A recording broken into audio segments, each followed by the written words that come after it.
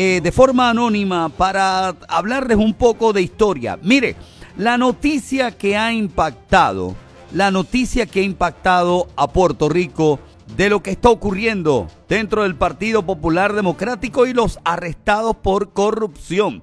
Recuerden, ¿verdad? ¿verdad? ¿Te acuerdas cuando decían que la corrupción tenía nombre y apellido y que estaba en un solo lugar? Bueno, pues parece que la corrupción es como el hambre, no discrimina, pero para los que quieran un poco de historia, vamos a la escuelita de Cepillín.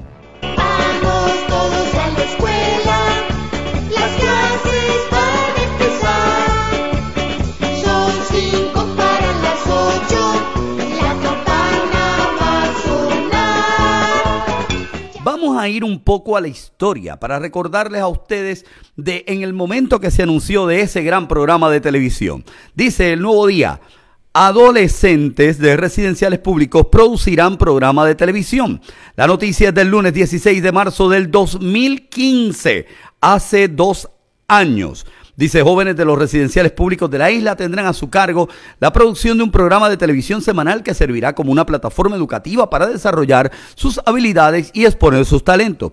La idea del nuevo proyecto llamado Voces de la Juventud es impactar a los adolescentes con talleres de guion, dirección, proyección, producción, edición, redacción, entre otros, explicó el administrador de la vivienda Gabriel López Arrieta. Hey, parece que la suerte te está buscando. Uno y medio, uno y medio es lo que cuesta el programa. Sigue por ahí la noticia y dice, el nuevo programa cuenta con una inversión de 1.5 millones de dólares. 1.5 millones de dólares para un programa de televisión y sociales y será moderado por los reporteros Roberto Arias y Aide Rosario. Indicó López Arrieta, quien describió la iniciativa como un proyecto de prevención que atiende a los jóvenes en sus edades más vulnerables.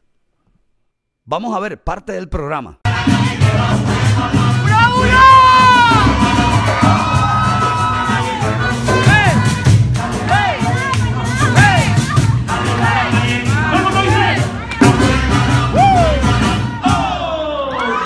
Ahí está el millón y medio. Ahí está.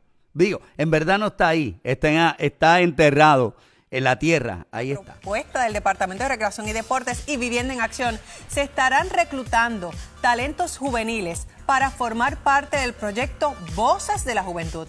Esta iniciativa busca desarrollar las habilidades de nuestros jóvenes en el área de las comunicaciones, específicamente en el campo de la televisión. La lista de los residenciales participantes está disponible en la página de Facebook del Departamento de Recreación y Deportes